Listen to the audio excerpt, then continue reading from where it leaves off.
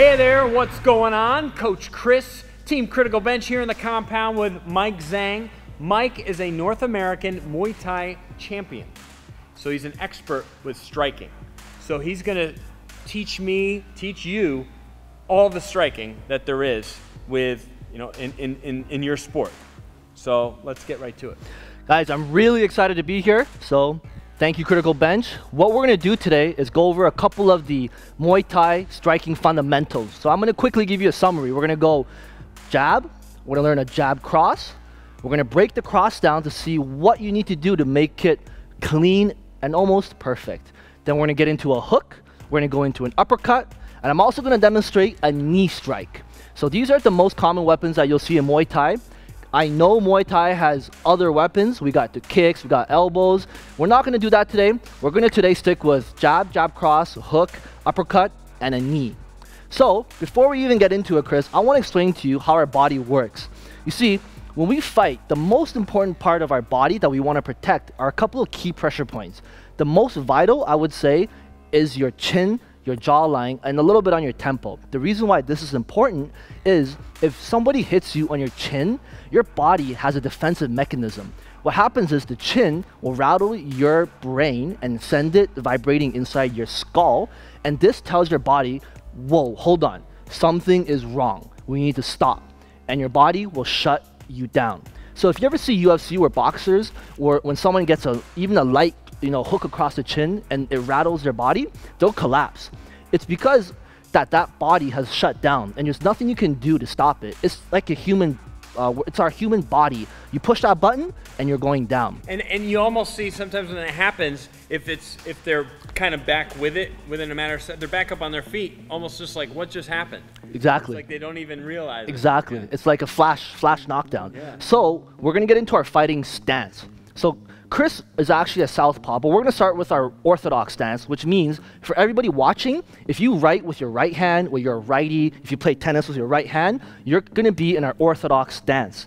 I'm going to demonstrate the southpaw stance too. We're going to do that a little bit right after. So we're going to get in our feet shoulder width apart. Perfect. Take a step back with your right foot. Beautiful. I want you to bring your hands up your left hand is going to be just a little bit outside your chin or your cheek, and your right hand is literally going to be right here or almost touching it. I want you to take your elbows and bring them in fairly tight. This is called our ready position. A couple key things you want to look out for. One, footwork. Your power from your punches does not come from how big, how strong, how big your biceps are. Where it comes from is your ability to transfer power from your legs, your glute, through your core, through your body, and out your hands. So you can't transfer power if you don't have a good foundation, which is why Chris's stance here is going to be nice and wide so that he can properly turn and pivot and twist to generate that power. Secondly, Chris here is going to keep his hands nice and tight against his chin. Because like we talked about earlier, your chin is that critical button that you want to protect. It's like your queen or your king. You don't want to let this down because that's most important. If somebody punches Chris in the top of the head here, the forehead, you're not, he, it may hurt him. It may cause, let's say, a slight rash, but it's not going to bring him down. If I hit him in the eyes, it'll bruise. He might get a black eye the next day, but he's not going to completely shut down. Same with the nose. The nose, you might get hit, your eyes might water up, you might start bleeding, but you won't shut down. Now, if I land a clean punch against someone's chin, that person is going down, they're going to be dazed, they won't know what's going on. So we're protecting our chin at all times. Now, your elbows are going to stay nice and tight because there's also body punches. So you want to protect your body in case somebody were to come hit you. Now, when your elbows are flared out, you can't do that. Now your all of this is going to be open. In our bodies, we have our floating ribs. We have other sensitive organs that if you throw a body shot, you're going to it's going to take you down also. So you want to keep your elbows nice and tight in our ready position. Beautiful. The first technique that I'm going to show you guys is a jab. Now, a jab is the most fundamental weapon. It's often the best one to throw at the beginning of a fight um, because a jab is the closest weapon to your opponent. A jab is actually a, a range gauger. So you might see a lot of boxers doing this, or UFC fighter doing this. It's really to touch each other and know how far he is from you.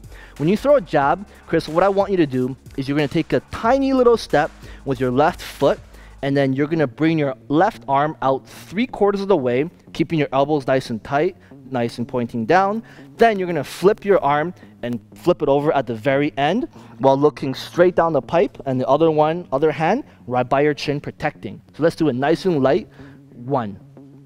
Beautiful. Nice and light, nice and relaxed. Keep your shoulders relaxed. Two. Good. Three. Good. Four. Five. Now, next one I want you to do is hold it out. Six. Good. So, when you guys are watching at home, you notice how Chris's chin is nicely tucked behind his shoulder here? This means that if we were in a situation where he throws a jab and I throw overhand right, I'm not going to be able to hit him. I'm not going to be able to hit his chin, which is his critical part. So he really wants to tuck that in, tuck his chin, and look straight down the pipe. Now, if he hits me, he'll see me, but I cannot hit him, which means he's got the advantageous position. On the other side over here, if you guys look, you'll see that Chris is tucking his chin down with his hand protecting here. So now on this side, if he was to hit me, let's turn around this way, and he throws that jab, and at the same time I throw a hook, he's gonna land on me, and I'm not gonna be able to land on him, which means that he's protected as he's throwing this jab. So that's a jab. Next, what I want you to do is we're gonna throw a cross. A cross is gonna be thrown with your right hand. When you throw a cross, what you're gonna do is you're gonna take your right shoulder, you're gonna imagine that there's a pole down your spine, so you can't lean forward and you can't lean back. What you're gonna do is you're literally gonna take your left shoulder, pull it all the way back, and bring your right shoulder forward. It's almost as if, Chris, you were pulling a rope from here, and you had a spear in your other hand, and you're literally going boom, like this. At the same time as you pivot, I want you to pivot onto the ball of your foot, driving forward with your hips. This is going to get you to put all your body weight behind that right punch, and you're going to be able to straight through with that right hand. Now, when you throw that right hand, I want you to keep your elbow nice and tucked down. You want to let it come out three quarters of the way before flipping your arm and extending it out. The reason why we do this is a cross is a straight weapon, right? The fastest way between two points is a straight line. Now, you want to get to your opponent fast, right? Because if you don't throw a straight punch and you throw a sloppy punch like this, you your opponent might throw a straight punch down the middle and he'll catch you. So you want to keep your weapons clean, crisp, and straight, which is why we're going to throw our elbows three quarters of the way out and then flip it. So that being said, what I want you to do is focus on bringing your left shoulder back, right shoulder forward, pivoting on your hips and your feet, and let's see that cross. Nice and slow, relaxed. And boom, beautiful. Oh, try to widen your stance a little bit to make sure you're grounded. Perfect. Now, when you pivot, you're going to be pivoting so hard that this foot is literally stopping you from coming any further forward. Gotcha. All right? Let's do it nice and slow. One, boom, beautiful. Two, boom, perfect. Three, mm, slow down a little bit and really try to focus on bringing this hand all the way back. Gotcha. So when you finish a punch, you'll end up here. Gotcha. Good? Let's do it one more time. Again. Boom. Beautiful. Try to look at the target and bam. Good. Let's do one more. Good. Now I want you to hold it out at the end of the punch. Boom. Perfect. So for the viewers there, you can see that Chris's chin is tucked nicely here behind his shoulder. Now in this situation, if we were exchanging and I throw a hook, I'm not going to get to him. Maybe I'll hit him in the top of the head here, but like I said, that's not that big of a deal. Let's turn it around to the other side. Now, when Chris is throwing his cross, I might be throwing my cross at the same time. So he really wants to tuck his chin, protect himself, so that if I'm throwing on this side, I can't hit him. Good. So let's do another cross one more time. Boom. One more. Boom. Beautiful. Okay. Next one that we're going to throw now is a hook. A hook is generally thrown with your lead hand. You can throw a rear hook too, but generally speaking, the hook goes at the end of the combination of a one, two hook. So let's do a hook. What I want you to do on the hook is you're gonna lift your elbow up to shoulder height. You're gonna form a 90 degree angle here at your elbow. At this position, what I want you to do is you're gonna rotate your arm all the way around, pivoting on your foot. Perfect. And then you're gonna come back. You're gonna lift it up, rotate, come down. Good. Up, rotate, Come down. Good. Up. rotate, and come down. Good. Now, when you hold your hand for a, a hook, there's two ways you can hold it. You can either have your wrist facing you, or you can have your wrist facing flat. This is completely personal preference. I've been to many different boxing schools, Muay Thai schools, where they teach one position over the other. It's really what you feel comfortable with and what your body allows you to do. Good. So let's throw a couple of light hooks just to get things going. One. Good. Two. Good. Three. Now, Chris, I want you to really pivot on the foot. Good. Four. Good. Five. Good. Nice. Now, we're going to throw an uppercut. An uppercut is actually a very similar motion to a hook. The only difference is that the uppercut comes from the bottom rather than coming from the top. So you're still going to maintain that 90 degree angle on your elbow, rather than throwing it from here, all you're gonna do is in your ready stance, you're gonna drop your arm just a little bit and throw an uppercut up. Now, instead of pivoting your foot, you're gonna kind of drive up with your hips and throw like that. So, when you throw the uppercut, you don't wanna drop your hands too much because the opening will be too big. You wanna just drop it slightly and scoop up. Got it? Let's try. One, mm, two, mm, three, mm, four, Mm, last one, five. Beautiful, good. Let's try the other hand. Let's see how it looks. One, mm, two, mm, three, mm, four, and five. Mm, good. All right, everyone. So that was the uppercut. Now we're gonna go into one of my favorite strikes, which is very unique to Muay Thai. It's the knee strike. Now, knee strike is probably one of the most devastating weapons that you can throw as a human being. We're going to be taking our knee, pointing our foot, and we're going to be driving it into our opponent. So, Chris, we're going to get into our stance one more time. So feet shoulder width apart. We're going to take our step back. Now, if you watch carefully, the difference between the Muay Thai stance and the boxing stance is actually very similar with a tiny little tweak. In boxing, your hips are going to be completely at an angle, exactly like that. In Muay Thai, you're going to square up just a little bit. And the reason why we do this is because in Muay Thai, there's kicks and there's knees. Now, if you angle yourself fully, it'll be harder for you to launch your weapons. So, when we are doing Muay Thai, we actually square up our stance just a little bit. So, perfect. Hands up. Now, what I want you to do to throw the knee is you're going to take a small step with your left foot, just a little, little step. Then you're going to reach forward with your hands. You can imagine that you're grabbing somebody it's an imaginary person. You don't have to grab the person if you're doing pads. And what you're gonna do is you're gonna pull down as you drive forward with your hips, pushing from your glute. What I want you to do is to look like this. So you're gonna take a step, grab, and reach like that. You wanna point your toe back so that you're creating a very small surface area with your knee to strike through your person's um, body. You're gonna reach and you're gonna go like that. Good? Let's have a look. So I want you to take a small step with your left foot, then reach forward and pull down. Beautiful. One more. Step forward, reach out. Yep. Reach and knee. Beautiful. Back to your stance. Small step. Reach. Good. So now I'm to put my hands here. Let's do it nice and light. Okay. Reach. Knee. Beautiful. One more. Reach. Knee. Boom. Beautiful. One more. Reach. Boom. One more. Mm, boom, good, perfect. Now, that was a right knee, which is in our orthodox stance. If you write with your left hand and you're gonna be in your southpaw, we're gonna switch everything and put it to the other side. So rather than taking a step back with your right foot, you're gonna step back with your left foot. Perfect. So try to bring your feet out just a little bit so you have a nice wide stance. Square up your hips a little bit. Perfect. So one more time, small step. Reach out and knee. Perfect. One more. Step, reach, knee. Good. Now, when you throw that knee, I want you to imagine you're pushing forward with your hips. I don't want you to try to lift up. I want you to lift forward so you can drive your knee through your opponent. Okay? Step, reach, and boom. Beautiful. Let's go. Step, reach, boom. Good. Step, reach, boom. Good. Step, reach, perfect. Great.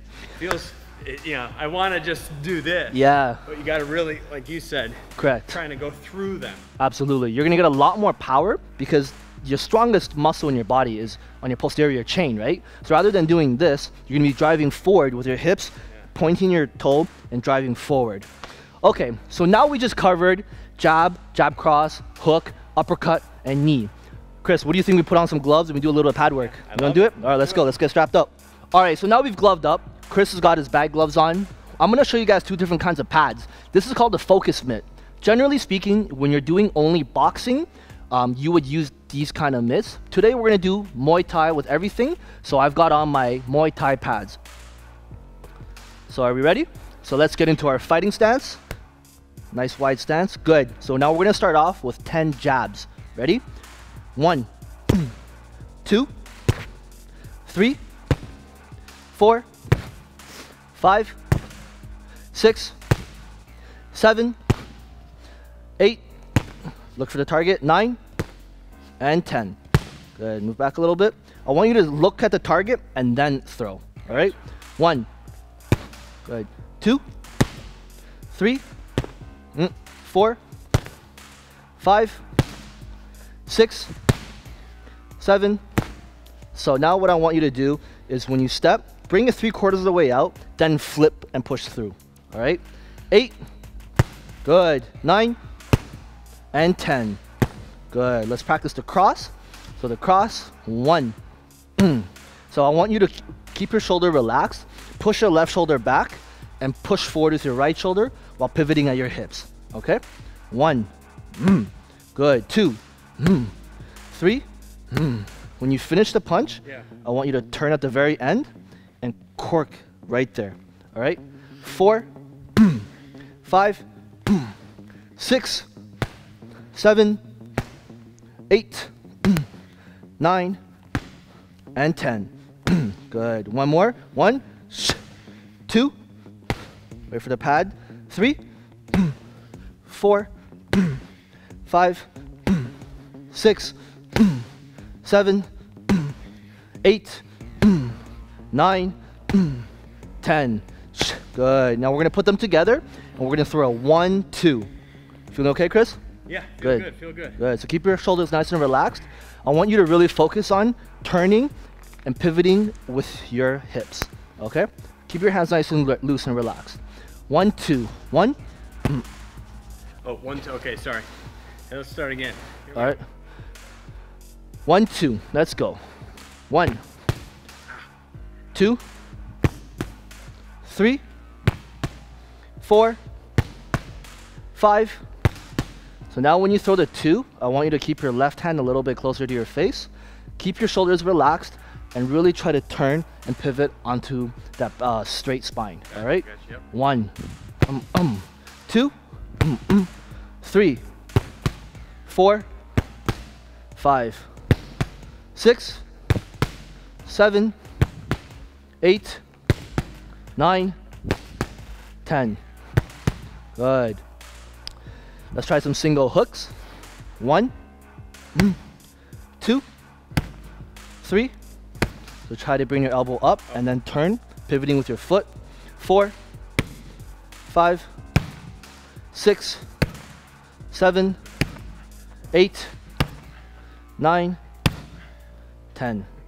Good. Now what we're gonna do is one, two, hook. All right. One, one, two, hook.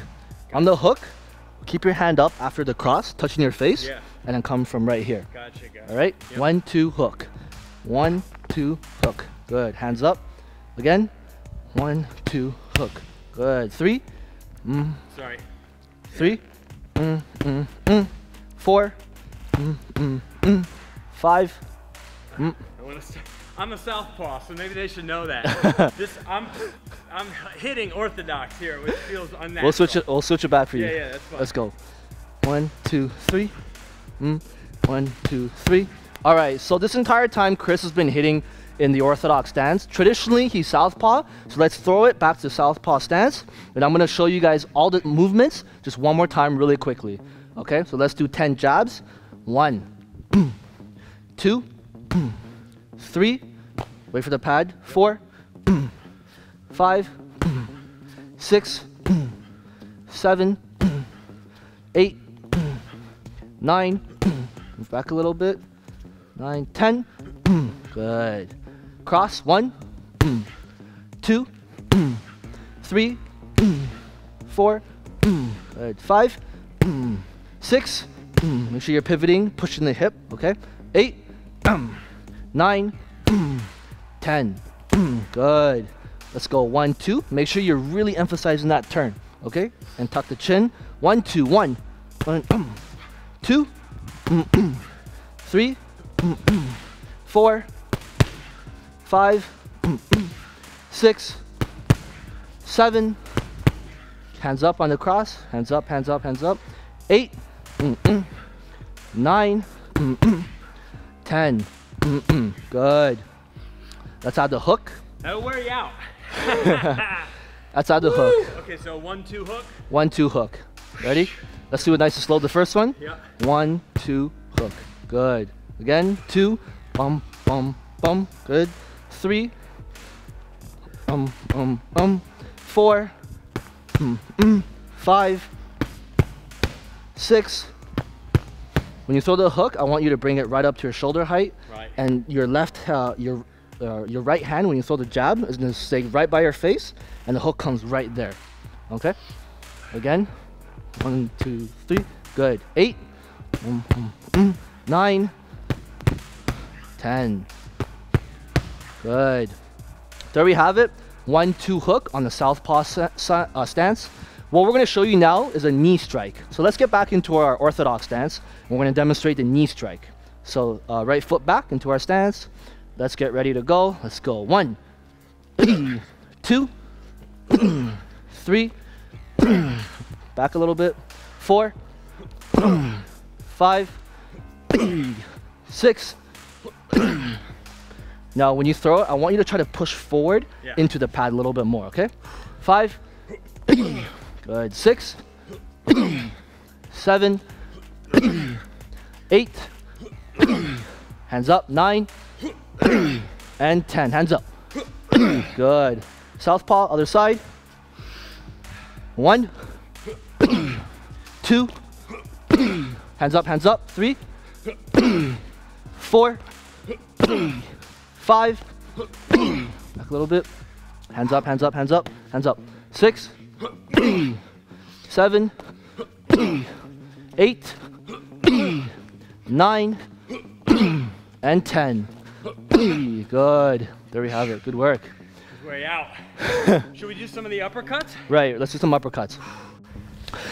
This is exhausting, by Is it? I'm not a, uh, a striking expert by any means. All right, let's get some uppercuts. Okay. So we'll start in our orthodox stance. Let's do uh, 20 uppercuts. Let's start with our rear uppercut. Ready? One, um, two, mm, three, four.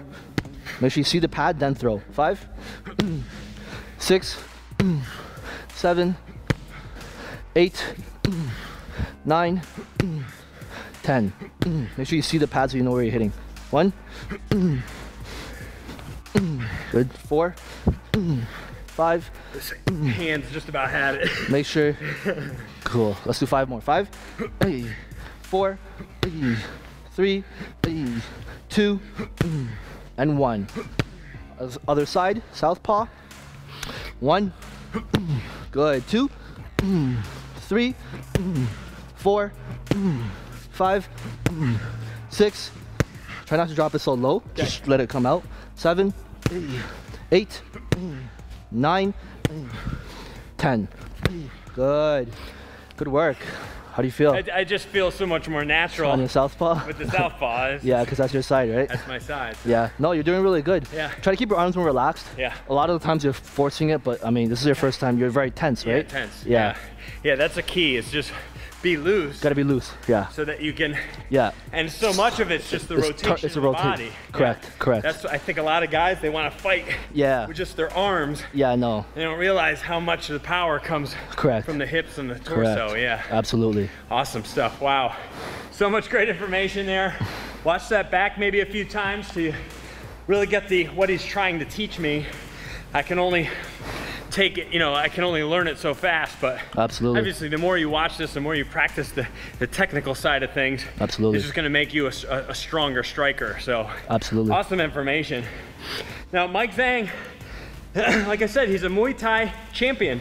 He created a program called uh, Fat Shredder Kickboxing, and it's in the description area below. So what you gotta do is click the arrow underneath this video, look for the link there that says Fat Shredder Kickboxing, click that. You can learn a lot more about everything that Mike is teaching here today. Also, we got a free report for you down there. It's called the 10 best bodyweight exercises of all time. Click that link, enter your email, you can have that free report. Another way to get it is just to click this box right here. Click that link, instantly download that free report. Also, be sure to click the subscribe button in the bottom corner and check out this other awesome video that I know you're gonna love. Thanks for watching. Thank you, Mike. We'll see you next time.